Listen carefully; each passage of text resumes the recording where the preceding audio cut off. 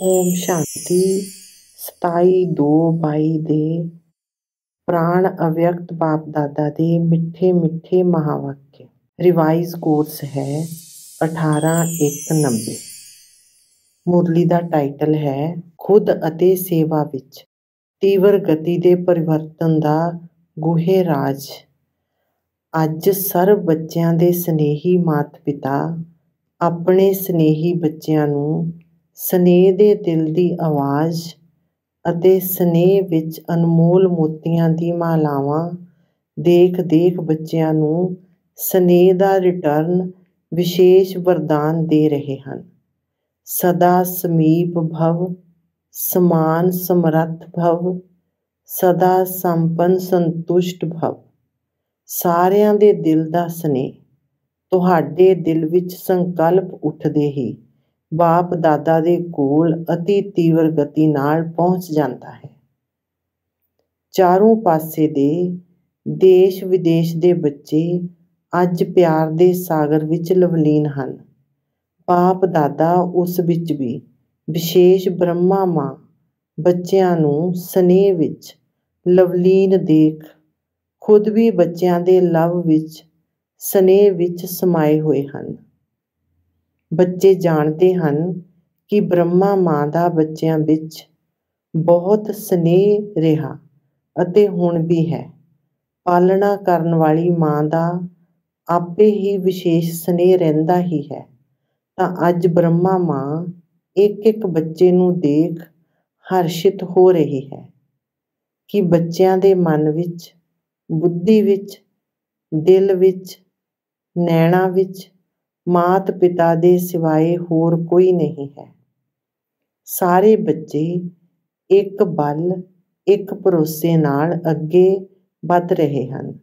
ਜੇਕਰ ਕਿਤੇ ਰੁਕਦੇ ਵੀ ਹਨ, ਤਾਂ ਮਾਤ ਪਿਤਾ ਦੇ ਸਨੇਹ ਦਾ ਹੱਥ ਫਿਰ ਤੋਂ ਸਮਰੱਥ ਬਣਾ ਕੇ ਅੱਗੇ ਵਧਾ ਦਿੰਦਾ ਹੈ।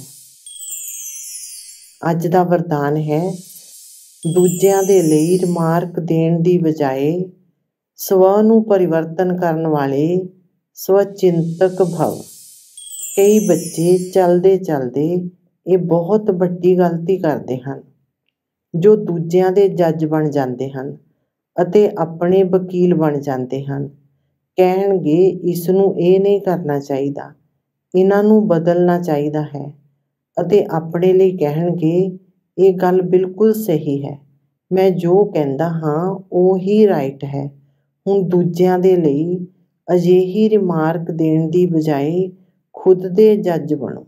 ਸਵਚਿੰਤਕ ਬਣ ਖੁਦ ਨੂੰ ਵੇਖੋ ਅਤੇ ਖੁਦ ਨੂੰ ਪਰਿਵਰਤਨ ਕਰੋ ਤਾਂ ਵਿਸ਼ਵ ਪਰਿਵਰਤਨ ਹੋਵੇਗਾ।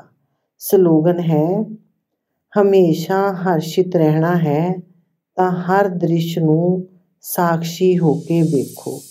ਅੱਛਾ, ਚਾਰੋਂ ਪਾਸੇ ਦੇ ਸਰਬ ਸਨੇਹ ਅਤੇ ਸ਼ਕਤੀ ਸੰਪੰਨ ਸ੍ਰੇਸ਼ਟ ਆਤਮਾਵਾਂ ਨੂੰ ਹਮੇਸ਼ਾ ਬਾਪ ਦੇ ਨਾਲ ਨਾਲ ਤੀਵਰ ਗਤੀ ਨਾਲ ਪਰਿਵਰਤਨ ਦੇ ਸਾਥੀ ਸਮੀਪ ਆਤਮਾਵਾਂ ਨੂੰ ਹਮੇਸ਼ਾ ਆਪਣੀ ਉਡਦੀ ਕਲਾ ਦੁਆਰਾ ਹੋਰ ਆਤਮਾਵਾਂ ਨੂੰ ਵੀ ਉਡਾਉਣ ਵਾਲੇ ਨਿਰਬੰਧਨ ਉਡਦੇ ਪੰਛੀ ਆਤਮਾਵਾਂ ਨੂੰ ਹਮੇਸ਼ਾ ਸਨ ਸ਼ੋਜ਼ ਫਾਦਰ ਦੀ ਗਿਫਟ ਦੁਆਰਾ ਖੁਦ ਵਿੱਚ ਅਤੇ ਸੇਵਾ ਵਿੱਚ ਤੀਵਰ ਗਤੀ ਨਾਲ ਪਰਿਵਰਤਨ ਲਿਆਉਣ ਵਾਲੇ ਅਜਿਹੇ ਸਰਵ ਲਵਲੀਨ ਬੱਚਿਆਂ ਨੂੰ ਇਸ ਮਹੱਤਵ ਦਿਵਸ ਦੇ ਮਹੱਤਵ ਦੇ ਨਾਲ ਮਾਤ ਪਿਤਾ ਦਾ ਵਿਸ਼ੇਸ਼ ਯਾਦ, ਪਿਆਰ ਅਤੇ ਨਮਸਤੇ ਰੂਹਾਨੀ ਬੱਚਿਆਂ ਦੀ ਰੂਹਾਨੀ ਬਾਪ ਨੂੰ ਨਮਸਤੇ,